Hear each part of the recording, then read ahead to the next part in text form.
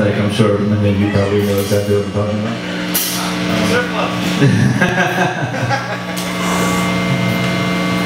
Somebody just shouted out the name of the bar that I work at. so this song is called uh, Leaving.